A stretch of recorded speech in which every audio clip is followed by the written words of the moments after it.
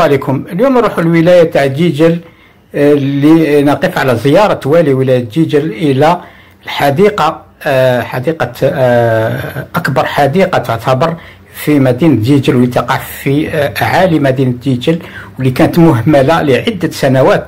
الآن فيه عملية تاع إعادة تأهيل وتجديد وترميم هذه الحديقة ليظهر أن الأشغال راهي جيدة.